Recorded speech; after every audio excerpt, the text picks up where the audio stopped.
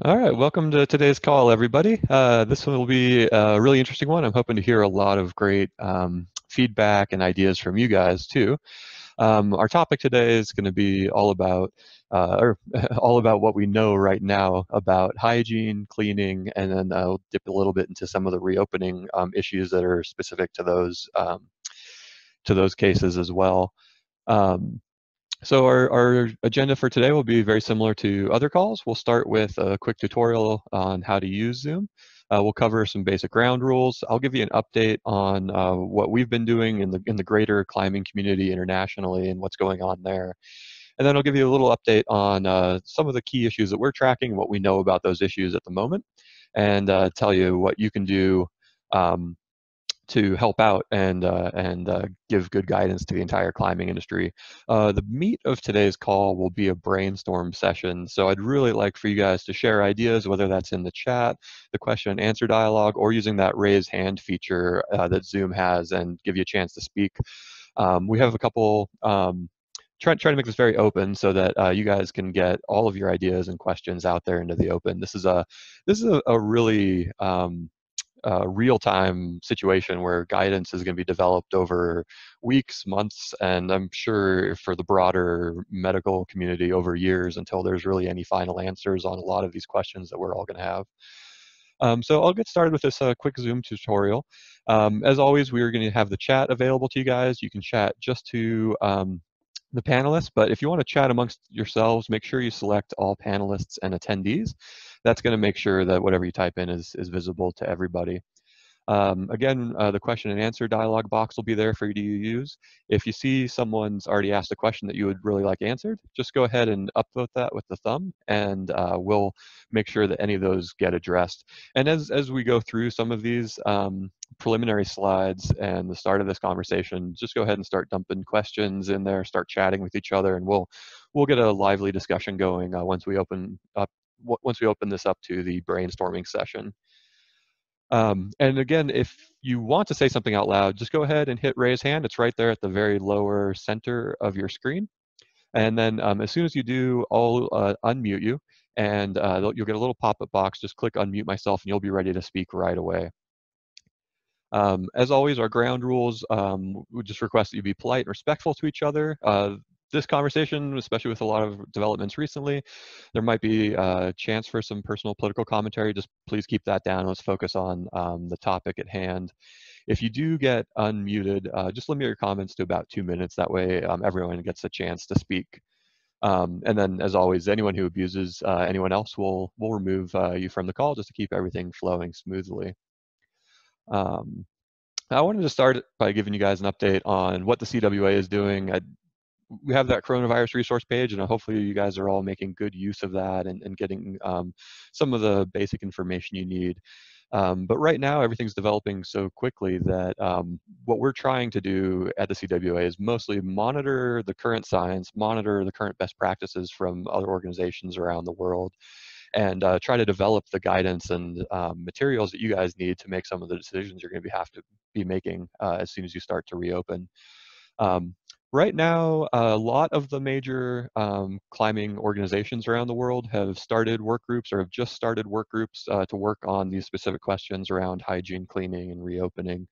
Uh, we've been in touch with almost all of them. There's a couple newly launched programs, uh, one by the IFSC um, as of last Thursday, and then one by the DAV in Germany as of uh, yesterday. Um, uh, beginning to work on these questions as well. Um, one of our goals at the CWA is to to keep all of these organizations in communication with each other and to learn from each other as we all have our individual groups that are working in whether it's a specific country or a specific area of the sport. Um, for anyone who's not familiar, the logo here, uh, Kleiman uh, Klettersport, um, is Christian Popin's uh, gym out of Germany. A lot of you have probably seen the Vertical Life um, uh, piece that came out as a strategy document. Christian was a, a big um, part of writing that and, and collating that information. Um, so we've definitely been in touch with them and, and keeping an eye on all of those kind of uh, things that get published out in the world, whether it's in the fitness industry or very specifically in the climbing industry. Um, to start off our brainstorm discussion, I thought we'd cover some of the things that we do know concretely and some of the things we know we don't know as well. Um, and, I, and I think it's, it's useful to structure uh, this discussion into three components, uh, hygiene, cleaning, and then reopening, um, which is somewhat of an amalgamation of those other two, plus your individual uh, policies and your individual local government's uh, ordinances as well. Um, so just to cover some of the definitions again, we have on previous calls, but we'll use um, what we're what we're going to talk here so we can have all have the same common language. Uh, we'll use these definitions. Hygiene's really about the behavior and the practices that you, your facility, and your climbers can do and uh, how they behave. Um, so one thing that's important to note is that your gym is only going to be as low risk as your climbers. Um, I don't think it'd be too far out there to say, but please, anyone who disagrees, um, you know, throw something into the chat, the question and answer, or raise your hand in a little bit once we open this up, and um, and you know, definitely weigh in with your thoughts as well. I, it seems that it's unrealistic to achieve a uh, a perfectly safe climbing gym when it comes to um, almost anything, right? But this specific matter at hand uh, for COVID-19, and I don't think we necessarily need to um, to aim for that level. We need to aim for uh, as close to that as we can in some cases, but uh, don't try to treat your gym as a as a as a hospital room. It's it's a little unrealistic, and it might hamper uh, other areas of your business uh, inadvertently. Um, when it comes to hygiene, uh, I think in the in the climbing gym, in the fitness gyms, one of the key things, one of the most important things, is to increase hand washing and make that a behavior that um, is ingrained in your staff and your customers. Um, another hygiene issue um, that that's come up in in buzz between fitness industry and climbing industry um, is what the airborne nature of this uh, diseases and this specific virus. Uh, questions about putting UV sanitizers into HVAC systems, different types of filters, HEPA filters into HVAC systems. Um, it doesn't seem like that's necessarily an area to focus on right now, and that's one of those things that might be very high cost to you um, without achieving uh, any greater results. Uh, and again, with the uh, ongoing caveat we'll have for this entire conversation that so much of the information is um, is you know in development and we'll just have to pay attention to it as as science uh, continues on um, and then with with those hygiene recommendations, you know, having posters, making that guidance known to your customers is really going to help ease people's minds. And one of the things we need to be particularly sensitive to in our industry, and then the greater leisure, entertainment, recreation industries as well, are any sort of stigmas that people might have based around you know all of the concerns that are going on right now and all of the uncertainty that we're all facing. And having good guidance to people on what you're doing and what you expect them to do can, can really help um, make make those transitions a little bit easier when it comes to reopening. Um, on to cleaning, cleaning is is um, like a subset of hygiene, if you will. It's uh, it's the part of hygiene that's at the facility level. It's the way that you're that you're going to have your facility behave um, to help communicate some of these um, uh, uh, low risk um, behaviors to your customers. Um, and again, with that continued caveat, research is ongoing onto what needs to be cleaned, how often it needs to be cleaned, and how you clean it. Um, there's definitely current best practices that um, that we can lean on there, and we'll be covering a lot of those. And again, would love to hear your guys' ideas as well. Um, and when it comes to cleaning, uh, there's always a lot of focus on on the climbing holds, which is um, uh, you know obvious and, and very understood. But um, you should consider all areas of your gym if you haven't already. Um, locker rooms, the lockers themselves, um, restrooms, seating areas, the the front desk, uh, the floor mats, uh, and the floor itself. Um, a lot of those, a lot of those are sometimes less uh, glamorous and they seem a little less scary than the climbing holds, but it's all part of the same larger facility picture. Um, and uh, when it comes to cleaning right now, uh, soap is, is one of your best friends, whether that's uh, personal hygiene like hand washing or facility level hygiene like cleaning holds or ropes or most soft goods. It's a, a fairly um, non-reactive um, chemical. It's not going to harm a lot of our of our um, surfaces and a lot of our materials. Um, but when you do use soap, uh, make sure you also pay attention to contact time. Um, that's a big part of, of the way that soap works to, um, to clean and disinfect things. Um, and there is, of course, always the alcohol um, sanitizing stations, and those are great solutions as well. But I, I, think it's important to note that there is no you know, there's there's no magic cleaner that's going to make this better. You should use what's appropriate for the material and the um, the operation that you're currently undergoing. So in some cases, you might use a diluted bleach or a soap or alcohol. It just depends on the situation. And you might want to think about what cleaners are available where in your facility as you begin to, to plan out your cleaning and hygiene practices. And then again, as with hygiene, communicating with your customers is really key here. If you can um, increase your level of cleaning and make make your customers more comfortable, it's just going to help you in the long run. And the last, uh, the last uh, thing I was going to cover with uh, what we do know now is uh, it seems like the reopening opportunities are going to be coming a lot faster, um, uh, especially here in the U.S. and some countries in Europe. Um, I know some countries in Europe are looking at potential opening of gyms as early as the first week of May. Uh, here in the U.S., with some of the recent developments of the last handful of days, um, uh, there's a a greater U.S. reopening strategy. Some states are taking advantage of that. Uh, gyms in Georgia might be able to open by the end of this week potentially. Uh, we'll see um, where that actually ends up uh, by the end of this week. But um, some of these things people have to be thinking about pretty, pretty, pretty rapidly, and we're going to start to um, put out as much guidance as we can around this. Um, I think it's important to note, uh, you know, reopening uh, will not look like business as usual for almost every gym out there. I imagine every gym out there. Um, that could mean anything from limited occupancy to these cleaning and hygiene protocols uh, we were just discussing. Um, and it, it, it's important as you plan your policies around reopening uh, that you don't inadvertently damage your long-term business. Um, you don't want to put a policy in place that you have to now abide by forever, even though this crisis may only last six months or two years or whatever the time frame is. Um, and then, as always, uh, lots of local ordinances out there. It could be at the county or city level in the US, um, could be at the state level. In other countries, it could be at your national level or your city level. Um, but find find the most direct source of information for your gym and um, pay attention to that and follow any laws and guidance that they have.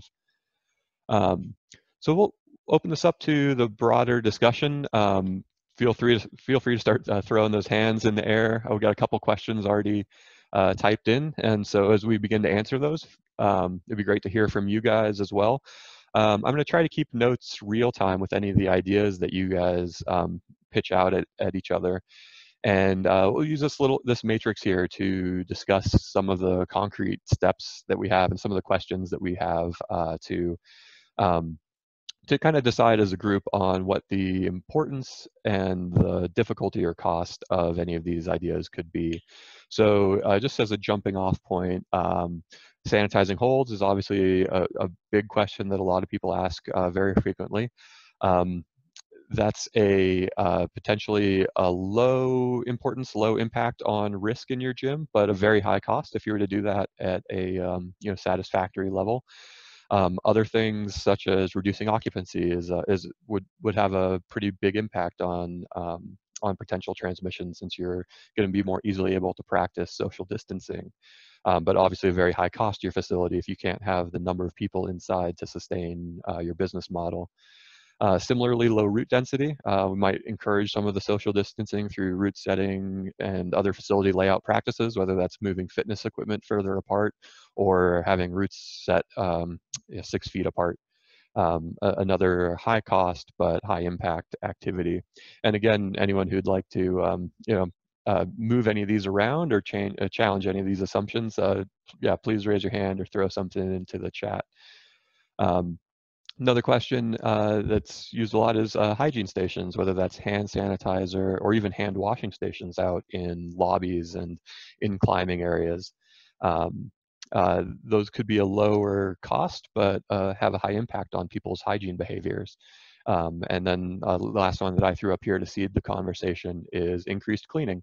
Another one that can have um, pretty high impact and has has a much lower cost than a lot of other um, a lot of other opportunities. Um, so let's see with that, uh, feel free again to start throwing those hands in the air. Um, and uh, looks, looks, like we got a couple questions in the question box and a question on um, uh, Liquid Chalk in the chat. Liquid Chalk's um, you know great one to throw on this list, so I'm just going to throw this right up here.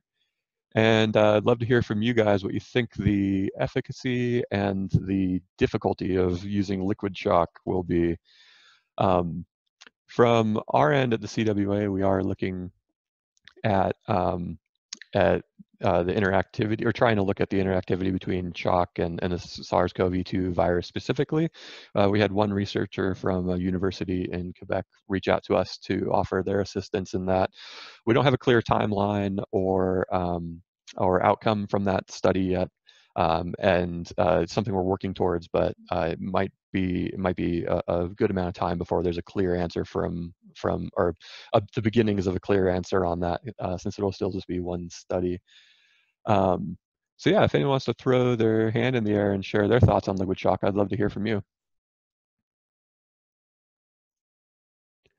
All right, let's hear from uh, Dr. John Hannawell.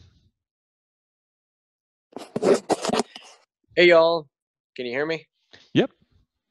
Hey, this is John Hannawell. I'm an ER physician in Twin Falls, Idaho, owner and co-owner of Gemstone Climbing Gym. Um, personally, I think it's a great time for a cultural shift towards liquid chalk.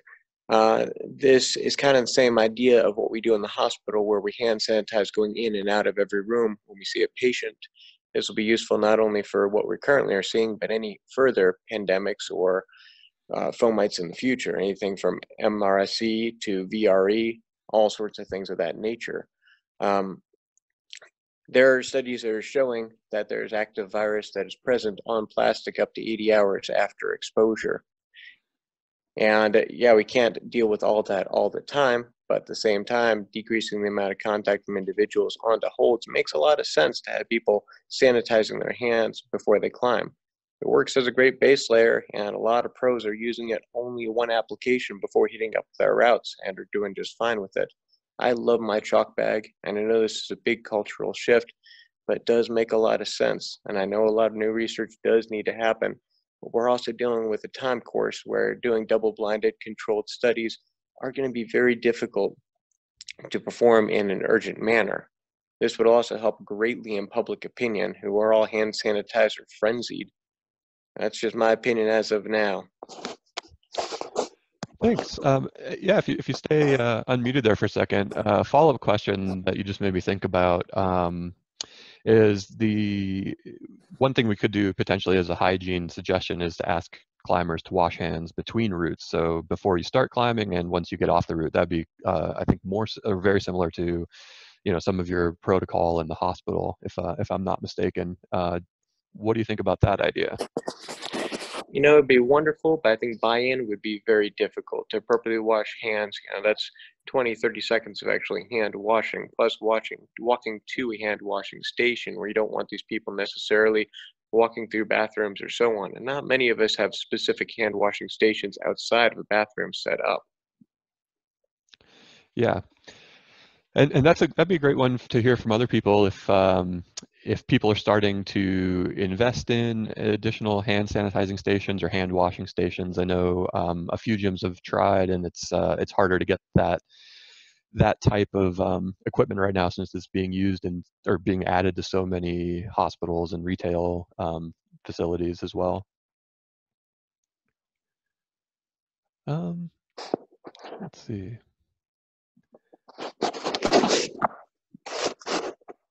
So we got some loot. All right, got a couple other. Let's hear from you, Cedric, on um, the if you're talking on the liquid chalk question or anything else you might have. Uh, yeah. Hi, this is Cedric. Uh, a couple of different thoughts. If you can't uh, find hand washing stations like normal, uh, what we did before we had to close is I called a, the companies that supply porta potties and uh, hand washing stations for like Renaissance festivals. And so we were able to lease one uh, and put them outside both of our facilities, and we required all of the customers to wash their hands before coming in the building. And then um, we uh, were able to implement a couple of uh, hand sanitizer stations at each facility. So the combination of washing your hands before coming in and then having hand sanitizer available in those nifty little dispenser things were a couple of things that we were looking at. And you you had mentioned liquid chalk. Uh, I know that Friction Labs has produced 80% alcohol liquid chalk, and so I know that that's something that they're pretty psyched about getting out. That's it. All right, thanks, Cedar.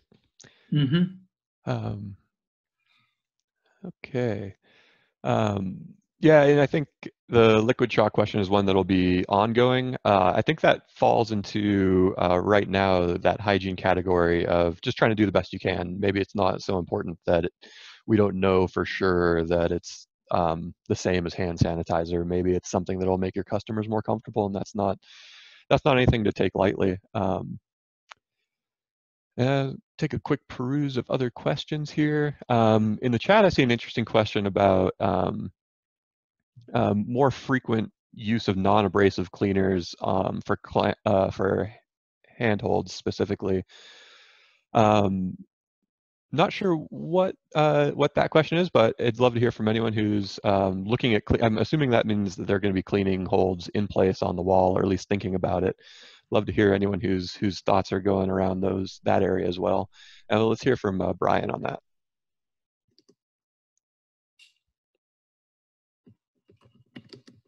Hi, this is um, Brian from Albuquerque. Um, we've looked a little bit into different cleaning options. Um, we have changed the uh, type of soap that we're using for uh, cleaning our climbing holds to a to a uh, disinfectant soap that we get from our janitorial supplier. Um, it does have a claim to um, be effective against coronavirus with a 10 minute soak time. So that's currently what we're doing right now. Is um, we're using uh, it's uh, it this particular product happens to be from Brady Janitorial. Um, it's their lemon disinfectant. It's um, reasonably inexpensive, um, and uh, basically our process at this point is we have a uh, like a 50 gallon stock tank um, that we uh, 100 gallon stock tank with 50 gallons of water in it that we put our climbing holds in, soak them in uh, the solution um, to the um, concentration that's recommended um, for 10 minutes, and then we're doing a power wash.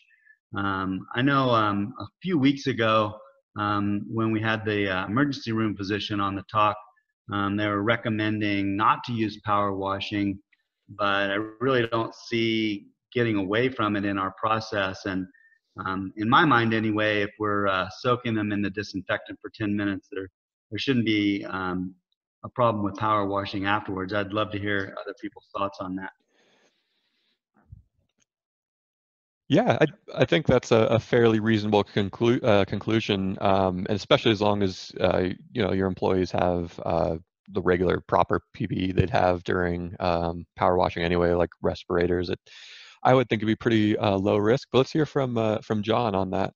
Um, should be unmuted. Hey, I uh, 100% agree with you, and that's actually what I was stating in my initial rant at that time, was that uh, before power washing, which has a potential for aerosolizing, because we're dealing with two separate things here. Droplets, which go for potentially six feet maybe up to 12 feet RNA has been found, which is questionable whether it's active virus or not. That's just droplet from coughing, breathing. Then we're dealing with aerosolization. That's the super dangerous one. That's the one that's killing everybody in uh, in ICUs and in Europe. That's when you actually get a gaseous form that can hang around the air for up to three hours. What I was recommending at the time is before you power wash, trying to kill the virus and doing something of a soak, anything from just a low pH solution of something very simple. I think we're using some, uh, oh, geez, I can't say off the top of my head, some Arm & Hammer product, but anything with a pH of 8 to pretty much 9 and above, uh, sitting in there for a couple hours, if not overnight, is great. If you can let the hold sit for three days, just sitting out to five days, just sitting out with nothing on them, that would probably be fine as well. But a soak is a great idea prior to power washing. And having somebody wearing a mask is beneficial at that time. Sure, that might be overkill because the virus is already inactivated. And having a power a washing station within your facility you know, that's the other thing, whether you need to have that ventilated or not. I think if the virus is already deactivated, you should be just fine power washing inside. That's what I highly recommend. Um, if you want to get all sorts of paranoid, you'll do it outside, but I think that's that's getting on the far end of all this. But yes, the answer is soaking them before power washing. Wonderful idea. Yeah, thanks for that, John. And and you, yeah, you covered the other um, thing I was going to mention about that as well, which is the possibility of being able to just quarantine those materials for a certain amount of time, um, four days, maybe a week, um, whatever you're comfortable with and, and gels best with um, current science could be um, a great strategy as well. Um, and, and one that can uh, transfer over to rental gear uh, potentially as well. Um, let's see, we got a, let's hear from Catherine here. Uh, Hi, uh, this is Kasha from uh, Oh. Metro Rock. Um, I was just wondering if if the holds have already been on the walls and the gyms have been closed, so the virus obviously shouldn't be on them anymore.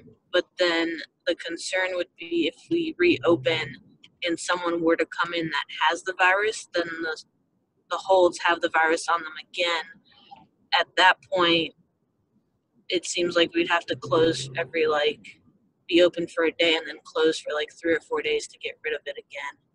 So I don't really know if there really is a point of washing the holds any other way than what we already do. Um, and I think it just ends up being a big kind of mess at that point. Yeah, I think that's a great question. I think that's where, you know, some of the hygiene guidance and some of that, um, you know, realization that we're not going to have hospital rooms for climbing gyms uh, comes into into play. Um, and, and I think that can come that can come into your communication strategy with your climbers as well. Is that there's there's a very real possibility that um, you know your gym is about as risky as a supermarket or any other store that begins to, to reopen at the same time as as the gym. Um, people are going to be having to make some sort of personal decisions about their their individual hygiene and their comfort with the hygiene practices of, of any given facility. Um, um, I'd, I'd love to hear some pushback on that as well. See if anyone feels like we should have a, a higher standard of care than that. Um, let's hear from Clint. Can you hear me? Yep. Hello, everyone. Another Idaho attendee. I'm calling from the Commons Climbing Gym in Boise, Idaho. Uh, it seems to me, kind of playing off of um, that last question, that if we could also pot- potentially look at doing something like if we're thinking the virus is active for a few days on climbing holds, could we do something like mini quarantines in terms of opening the gym for, uh, let's say, a few busy days, like over the weekend, and then close down for the following two or three days so that we are essentially re sanitizing the entire space? Yeah, I think that that mirrors what Kasha was saying to a large degree. Um, I, it's certainly not something that uh, would be impossible, I think, for a gym to do, other than the way that it would impact their individual business model. Uh, the question I would have around that would be around, uh, you know, what happens during that busy day. I, having one super risky day versus three days of sanitizing things um, isn't necessarily going to lower the risk in, in your facility, depending on who shows up during that busy day and how they behave. Um, not to not to be too um, uh, pessimistic about it, but I think those are the kind of things that we have to we have to uh, think about as we're as we're going through all these issues. Uh, let's hear from Brian. Um, yeah, I would just uh, like to make a comment that I think that um, focusing on sanitizing our holds that are on the wall is probably something that would is just going to be ineffective, and I don't even know if it's really worth um, focusing on. Um, I personally don't see the climbing gym to be any worse than your regular grocery store as far as touching surfaces and I think a lot of the research out there um, indicates that the primary method of transmission is person to person um, through cough droplets or um, you know that six foot radius.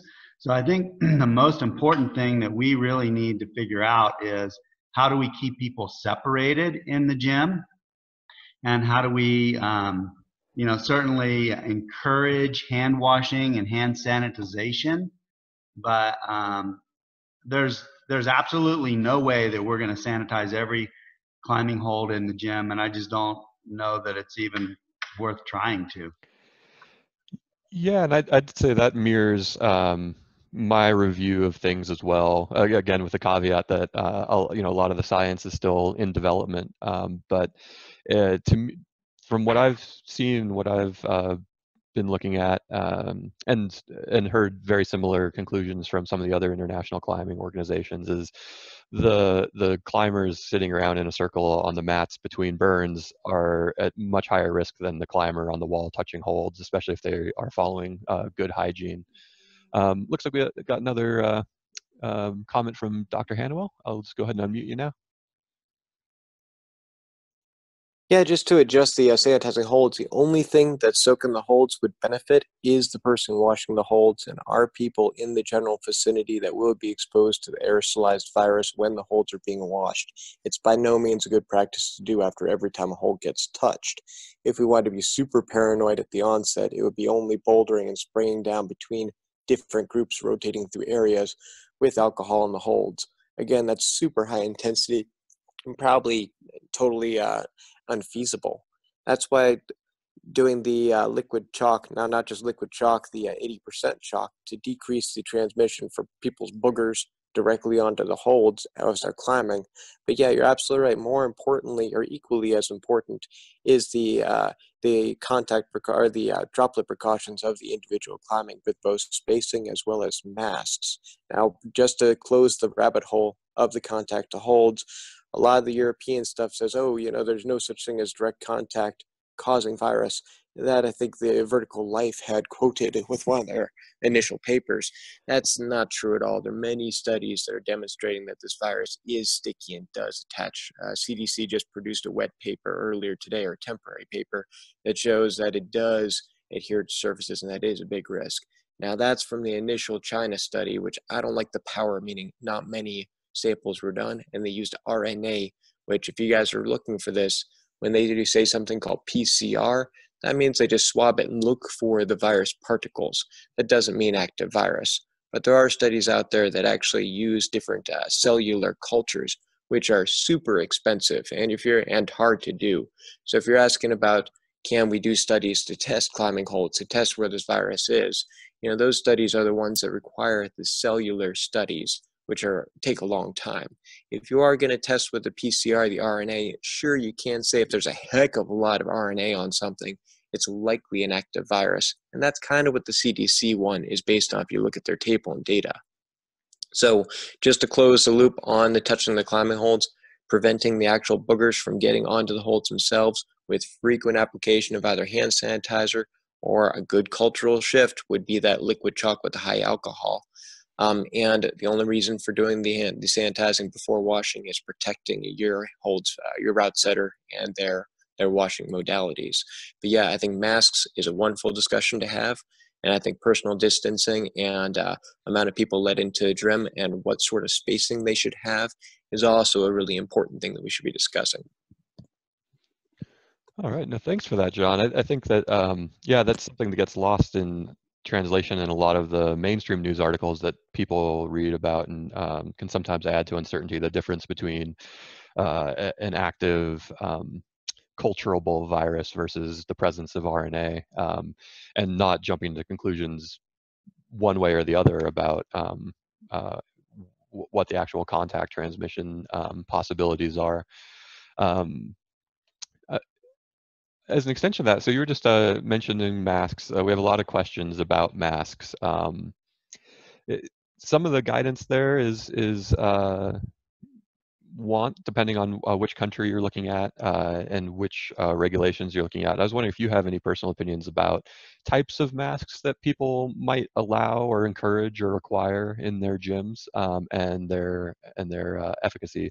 So something like a buff or a bandana that um, that isn't waterproof versus something like a surgical mask, which um, someone might be wearing.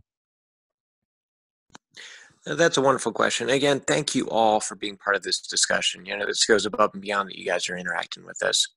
Um, as far as masks go, don't purchase N95s. We know those in the hospital, those are only useful for aerosolized products.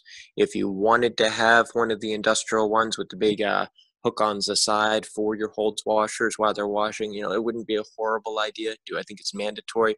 Probably not. Do I think if you wanted to make your holds washer uh, more secure in what they're doing, sure. But they're also low risk individuals in the sense. Anyway, um, that's a different topic. Uh, as far as masks themselves, um, at least double cotton layer masks, maybe even triple layer, is probably appropriate enough. Anything that can catch little droplets. You see a lot of these goofy online things, people spraying aerosolized products through a mask. Of course, it's aerosol. It's going to go through a lot of these things.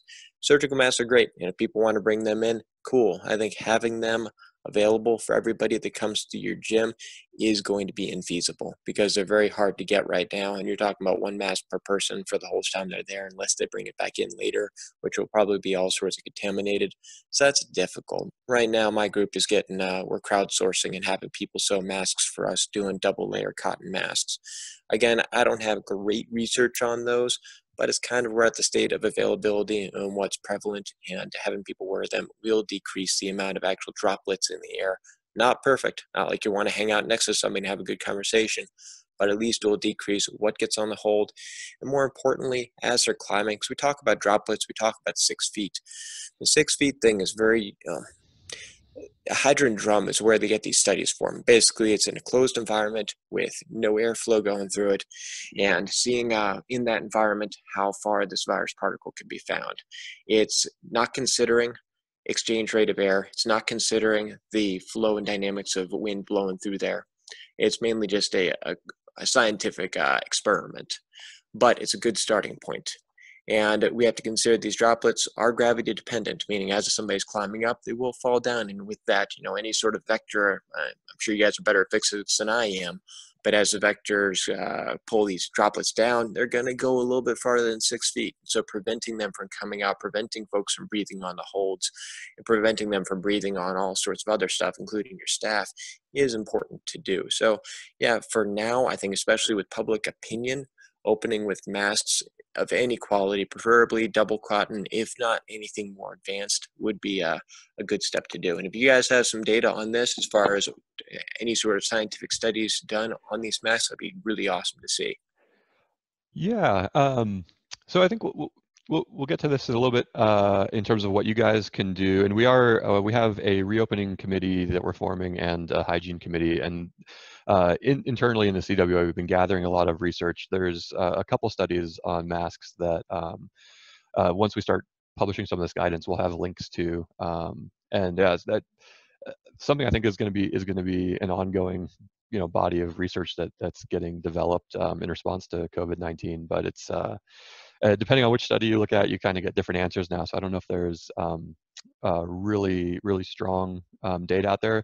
There was a great uh, CDC effort from um, about about five years or about six years ago in response to the 2009 H1N1 um, epidemic, and um, from that study, they were looking at four layers of cotton as being one of the one of the base points, and that was for a different disease with with with different characteristics. They were really focused on influenza with that, but uh, we'll, we'll, we'll try to make links to those um, to those research um, topics available as we begin to publish this information.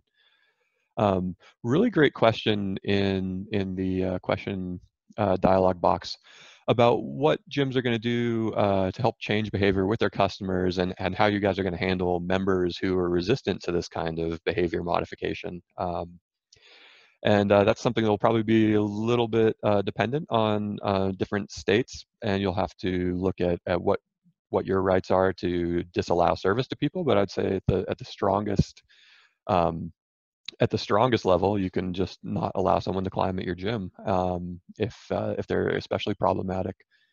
Um, and I again going back to the beginning of of uh, this talk, um, I think that you know strong communication both through social media, email campaigns, posters in your gyms, uh, all of those kind of means will help reinforce uh, what you expect from your climbers and and hopefully the the broader social impact of everything that's going on will hopefully make people more conscientious uh, around uh, these issues. Um, but I'd love to hear anyone out there who's uh, internally had any discussions with their staff or their team on how they're going to handle communicating um, this, these behavior changes and what they expect uh, of their members.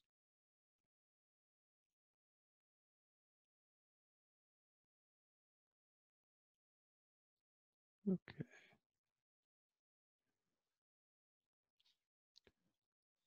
All right. Well, that's a tough one, and um, yeah, one that'll be again very individual to um, you know whatever your local laws are. Um, another another top question in here is regarding uh, harness rentals. I would probably include like maybe shoe and chalk bag rentals, lead ropes, all of those things that um, that you might be lending out to your customers. Um, it, I think that goes back to some of the uh, quarantining um, discussion that we talked about earlier, even for climbing holds, uh, that might be a good uh, procedure for rental gear. And then uh, a lot of that stuff is is pretty cleanable with uh, warm water and soap. Um, any of those, any of the individual products that you use should have uh, technical specs or data sheets um, available for uh, that will give you methods for cleaning. Um, and it looks like I got uh, Rich here who'd like to weigh in on that. I'm gonna unmute you, Rich. Hey everybody, uh, this is Rich Bruner from Bend Rock Gym. Um, to actually to to the first point about you know behavior and and managing behavior, one thing we were looking at is actually not necessarily like updating our waiver necessarily, but adding a new document that um, any member that comes and climbs in the facility, you know, signs and agrees to. Um, and so that would outline kind of what our expectations are, what the operating standards are and protocols are, and they're agreeing to abide by those things while they're in the facility. So that's one additional sort of uh, uh, practice that we might put into place. And then with regards to you know rentals and things like that, again, given every state's going to be different, but our state, you know, if when we do get to reopen, it's going to be under such a limited amount of people that we probably we're exploring simply operating on um, and serving members and punch card holders only. And so those folks typically nine 0.5 or more times out of 10 have their own equipment and therefore don't need to rent ours. Um, furthermore, you know, one other idea that we're kind of looking at is making the gym uh, effectively lead climbing only in the rope areas. Um, so that's just sort of taking our equipment out of the equation and reducing the need for us to necessarily disinfect it on a regular basis. So anyway, thanks everybody. Uh, just wanted to add those two points. Thanks for hearing me out. Awesome. Uh, looks like I uh, got Dr. Hannawell again. Uh, I'm going to unmute you, doctor. Hey, so lead climbing is a great question. I've been wondering about this because what do we all do? We bite the rope. And then what do we do? We clip it into the draws. So those draws would be a contact point that a rope is always sliding through.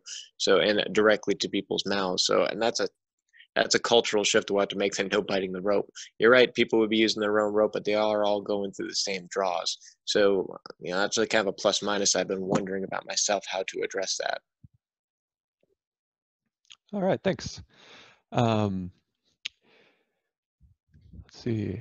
Anyone else out there uh, with uh, a take, uh, either unique or otherwise, on rental gear? Okay. Uh, whoop, had a couple of people raise and lower. Um,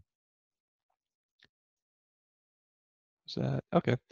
Um, well, let's see.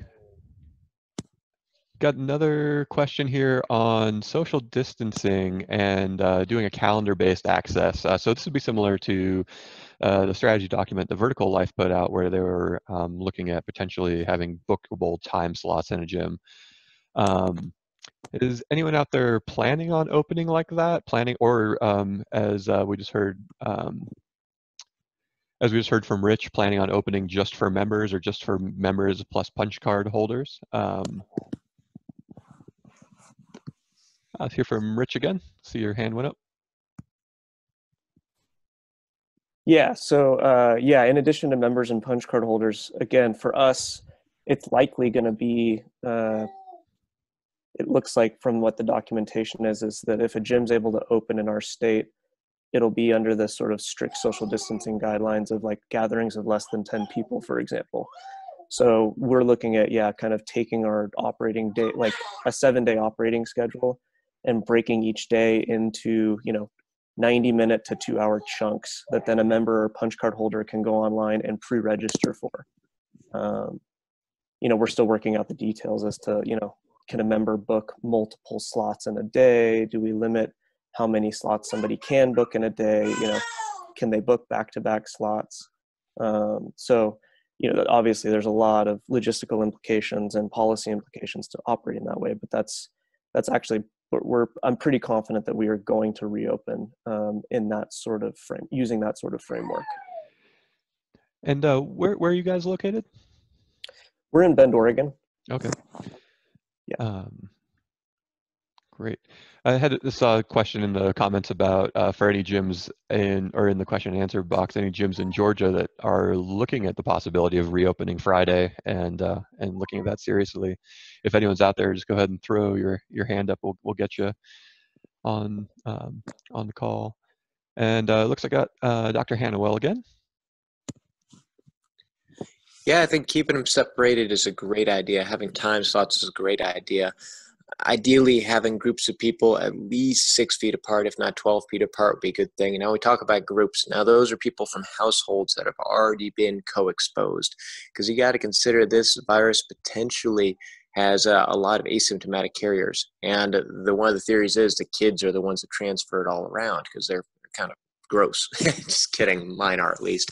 But um, it is something that keeping them separated, having different lanes and different areas, kind of like the grocery store idea of things on the ground, is a wonderful thing. Also to consider egress and uh, and well, in and out of the gym where different paths should be so people don't cross these natures. Um, and lastly, you know, this kind of also translates into what are we going to be doing in our workout studios as well as our yoga studios? Are we going to be transferring those or opening those early? And I think kind of goes along the same ideas of having areas isolated. So to kind of close it is that people from the same household can definitely share a zone. Uh, zone should be separated out, and meaning that uh, at least I would recommend having a zone of about 20 feet so that people can utilize that area. That includes potentially three to four rope routes or a bouldering area. Maybe rotate people through a couple of the zones. That would make sense. All right, thanks. And it looks like we have uh, Rob with his hand up as well. I'm going to unmute you, Rob.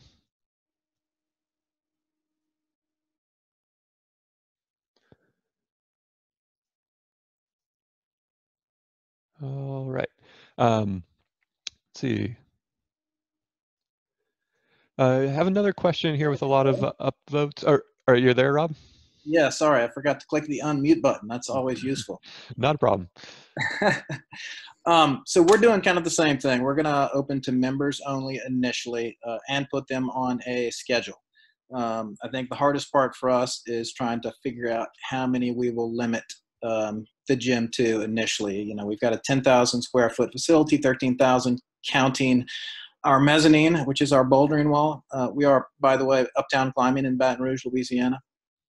Um, but a couple of thoughts we've had are um, with respect to managing all of our roped uh, stations um, are kind of a, a lockout tagout procedure whereby we will um, only allow use of 50% of the ropes alternating and we'll tag out ropes. And then every day we'll rotate members to another set of ropes. And whether we do that every third rope or every other rope that would at least let the ropes hang uh, and be unused for a period of time. Whether we can make the 80 hour number i don't know. Uh, another thought that we have specific to auto belays uh, and I've, I've found some plastic sleeving online uh, and essentially um, taping plastic sleeving up the auto belay um, strap uh, straight down to the carabiner so that we can clean at least those uh, carabiners very easily without worrying about a chemical load on uh, any of the soft um, uh, soft goods, and then you can easily wipe the plastic on the banding. I don't have kind of a solution for top ropes yet to protect them,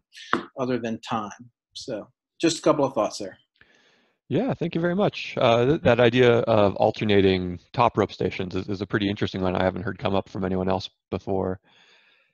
Um, looking at uh, the questions here, uh, there's a, a, another popular one about cleaning agents, and I see a couple questions in the chat about that as well. I think someone asking um, what cleaning solution um, was being used to soak holds. Um, there is a great list of um, cleaning agents in uh, on the EPA's website that, that, that have been tested specifically with the SARS-CoV-2 virus. I'm going to go ahead and throw a link to that in the chat so you guys can all see it. And then that link is also always on our coronavirus resource page um, at climbingwallindustry.org slash coronavirus. Um, so uh, that, that, that's a great resource to, the EPA website's a great resource to look at for what is currently being, being um, evaluated and, and used uh, for different disinfectants.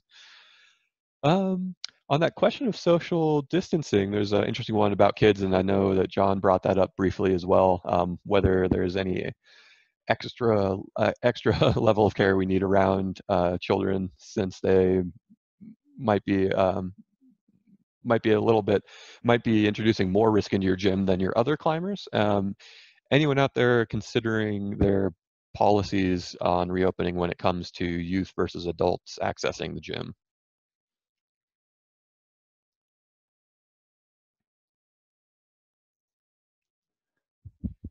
All right. Let's see. Um, uh, here's here's an interesting question um, for the group. Oh, we got another. uh, got. Okay, here's another interesting question for the group, um, and it's about the the floor uh, in the climbing gym. So I would imagine both your mats and then also just your general trafficked areas um, someone saying they've seen some um, news about the virus being transferred on the bottom of shoes and what kind of contact um, is is there. Uh, let's hear from John again. Cool. Thanks for calling me, John. The whole Dr. Hanwell thing's get me freaked. Um, yeah, the, the study that was just put on the CDC website talks about floor contamination. That's one that I referenced earlier. That's one of these Wuhan studies. Now, the deal is I can get concerned about that is you got to look at the power of the study. The power means how much or how many actual swabs were done. And if you look at that, you know, the big thing is, oh, it showed up 100% in the laboratory. Well, that was two swabs from the ground showing a large amount of RNA. Um, so we're not talking about active virus, talking about large RNA. So yeah, if you're going from the ICU and you're walking into a location, uh, could you be tracking something? By all means, you could. But you also got to consider viral load, meaning that if somebody coughs in your face, that's a bunch of virus going right in your mouth. That's definitely high risk of transmission. But the more and more we get distracted away from that, the less and less virus is there. Now, this is like a I don't know the exact virility of this virus. Of course, it's high. Um, but it's something that will get diluted down. So you got to consider somebody coughing on the ground, you walking through that, you using your shoe, touching a hold, and then that hold transference back to a hand. That's really decreased. So, you know, if we're talking about areas that will have highest impact versus lowest impact, um, floor surface and tertiary are farther out different contacts, we're talking about less and less of a viral load. So of course it's going to be present. There's no way to eliminate this altogether, but we got to consider what would decrease it the most. So as far as bouldering mats, yeah, we are falling down onto them. We are coughing. We are yelling, screaming, and falling onto those, which has more uh, uh, droplets that are let down onto it, if not potentially aerosolized. But we won't get into that topic. Um, so yeah, boulder mats can potentially have something but you got to consider what the contact is with the bouldering mouth directly to people's face and that's where it comes into a big thing of really simple don't touch your face don't eat food things of that nature. And that's why really having the hand sanitizer aspect of the chalk or having repeated washing is a great thing for people to have self protection from that. As far as washing your floors and washing your mats, you know, of course, wash your floors, make your gym look super clean. That's public opinion. But as far as washing your bouldering mats, you know, once it's exposed, it's exposed. You know, sure, you could make an argument that's accumulation over a couple of days, and if you do want to get paranoid and wipe down your mats after every day, that could only help. You know, the more steps you have that your staff has to do, uh, the more complicated it's going to be. And if you can add those on, sweet. But then again, you know, you got to again hit that low hanging fruit. You know, the things of cleaning the hands holds, cleaning or having people's hands be clean, cleaning the uh, the commonly touched surfaces such as the sign-in pads, such as the front door of your gym, and doing that multiple times a day, such as the connections of the auto belay. love that idea of the plastic on there, as long as it doesn't get sucked up in the auto belay.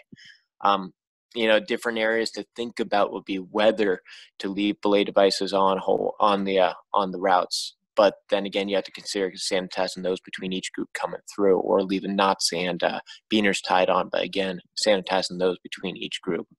Um, at any rate, I'm I'm digressing. Mm-hmm. On to you guys. Yeah, I was, I was gonna say uh, a, a little um, a little thing I noted uh, in in your uh, comments just there was the yelling, screaming, falling on the mats. Uh, there's another question in here, which is a great one. Um, can the virus be transmitted through sweat? Um, someone's thinking specifically about landing on a bouldering mat. Um, it, I have a, uh, I think the current science is that there is no transmission through sweat, blood, or even um, feces, although again, sometimes RNA can be present in some of those materials. I know there's one study in Germany and then uh, one that was done in uh, China as well that supports that. The, again, with the caveat that maybe that will be um, something that gets uh, discredited in the future or, or as more science gets done. But uh, currently, I don't think there's any um, general worry about those transmission methods in the in the medical community anyway. And uh, I'm sure John will um, speak up if uh, if I'm wrong there. Or I hope you will. um, oh yeah, you know I'll have to scratch my head. There is a study that I looked at a little while back that showed the locations where the virus is most common. This was uh, kind of helping us to figure out locations of testing whether it was from doing it from the mouth, doing it from the back of the nose, doing it from a bronchoscopy, meaning washing out the lungs. And yeah, it, I know our GI doctors were talking that it was present in feces, and they're talking about having a mask up when they're doing colonoscopies. So, you know, that's something that sweat, maybe, but yeah, I consider sweat in the hands is pretty much the same thing as somebody just having it, having their hands touch their face. And you got to assume everybody's picking the boogers. So anything like any hand contact to anything, you have to assume that that's uh, that's contaminated. It's a great comment.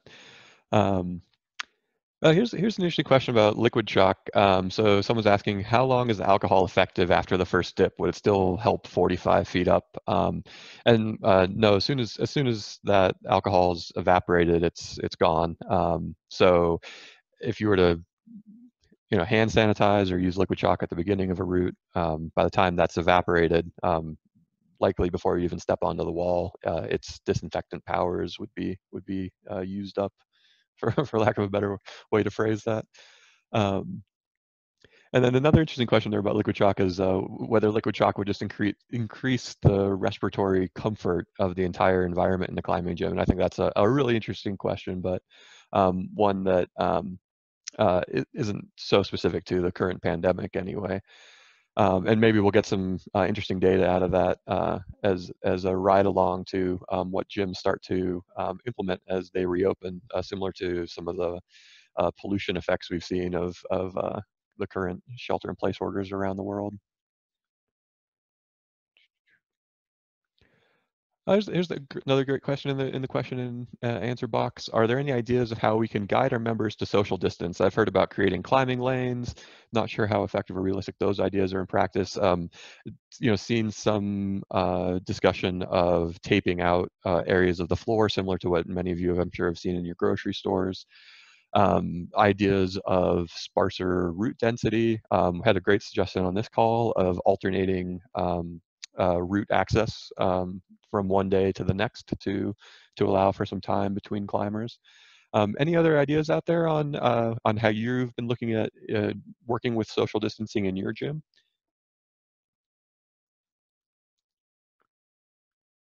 All right, go ahead, John. Um, tape on the floor, you're gonna regret it. Things are gonna get sticky on there. By all means, you can using something like sidewalk chalk and drawing on your mats or drawing on that areas depending on what you have, might work great. I know Vertical Life, they're kind of an online uh, forum for uh, remembering where your routes are on the wall. We, we that's a cumbersome process, but that's a different topic.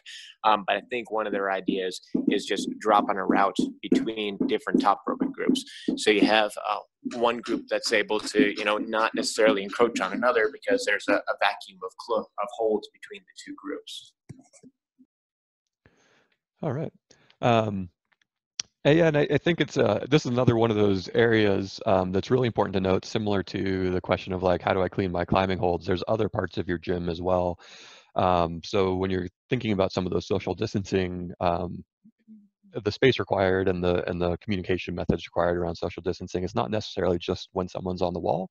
It's your fitness gym, your yoga studio, your the entrance to your gym. Um, I know a lot of facilities out there in, in pretty small places with small hallways and or small passageways between different climbing sections. Um, so it would be it might be worth taking a look at all of those um, all of those areas in your individual facilities and considering them. Um, Let's see. Well, we're coming to the uh, coming coming to 11 o'clock, so I, I wanted to uh, let you guys know what you can do to help um, continue this conversation. This is really great hearing some of the ideas you have and some of the concerns you have. Uh, we have a ton of questions um, that we didn't get to and a lot of really great comments in the chat.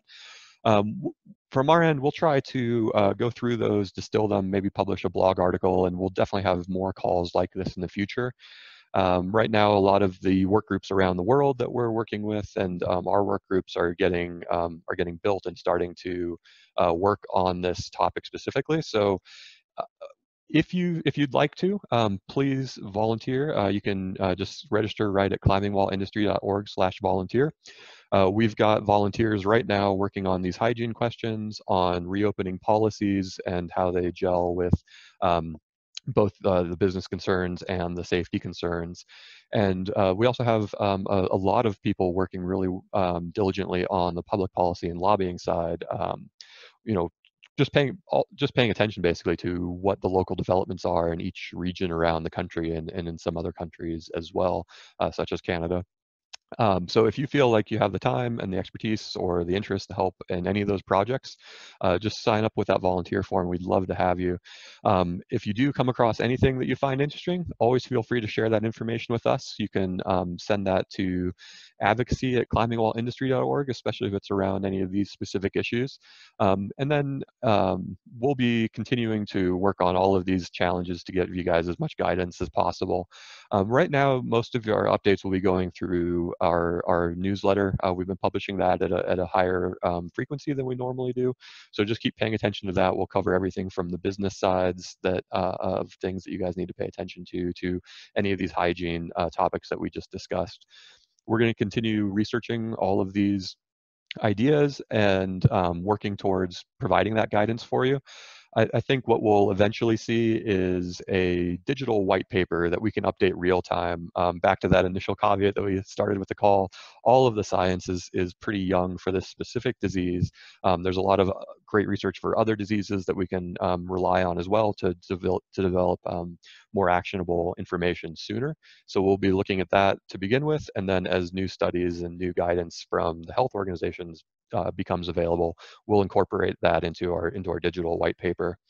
Um, and uh, as I mentioned at the beginning of this as well, uh, we are collaborating with other groups that are working on this around the world. My hope is that um, the entire global climbing community can have fairly solid and fairly cohesive um, guidance on this. That'll help us when we're communicating to any of our local public health officials, and they might want to know why are you doing this this way. You can say that's how everyone in the world's doing it, and hopefully um, from a very science and evidence-based um, platform as well. And then, as always, we'll continue communicating you through, uh, with you guys um, uh, on a real-time basis, day in, day out. We're um, updating that coronavirus resource page as new information becomes available. So you can always tune into that for the latest. You can also see recordings of these webinars, and you can share that with um, with anyone out there. Um, on Thursday, we have a, another webinar coming up. Uh, that's going to be uh, presented by Chris Stevenson, who many of you guys have, might have seen at our summits or our member meetings in uh, the fall last year. And we're going to be covering the topic of uh, what you guys can do as leaders to help um, help keep your staff engaged and positive through these closures, both um, your furloughed staff and your active staff. Um, one of the things I think we'll all have to start thinking about as we begin to look towards reopening is how we get our staff back uh, when we need them and how to keep those conversations going. Some people might find new jobs, some people might um, just have to move for, the, for a variety of personal reasons. Um, and uh, so we're going to look with uh, Chris at some strategies on how you can keep that communication alive and how you can help give some guidance to your staff and be leaders uh, in this uh, pandemic. As always, uh, the CWA is here for you. Just reach out to us personally with anything else um, that you might be thinking about or worried about. Um, and we'll see you on the call on Thursday. Thank you very much for all your time, everyone.